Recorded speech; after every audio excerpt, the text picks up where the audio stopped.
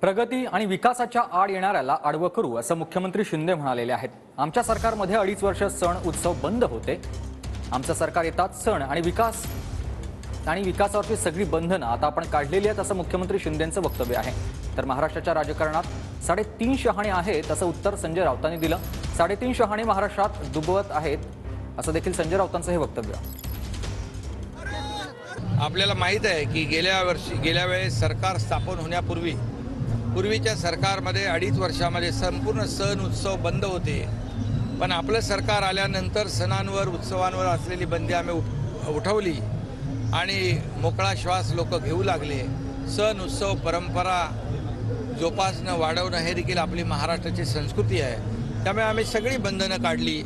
विकासावरची बंधनं काढली. प्रगती आणि विकास याचे आडवा कोण येईल? त्याला आडवं करून गुढीपाडवा आमचे लोक साजरा करतील.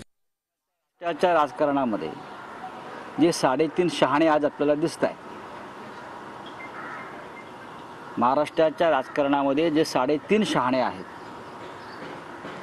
त्या साडेतीन शहाण्यांना आव्हान देण्यासाठी आम्ही आजचा मुहूर्त निवडला आहे साडेतीन मुहूर्तापैकी एक सरकार आणि महाराष्ट्रातले त्यांचे सगळे लोक हे साडेतीन शहाणेच आहेत. ते पूर्ण शहाणे नाही आहेत आणि साडेतीन शहाण्यानेच महाराष्ट्राचं राज्य बुडवलं होतं.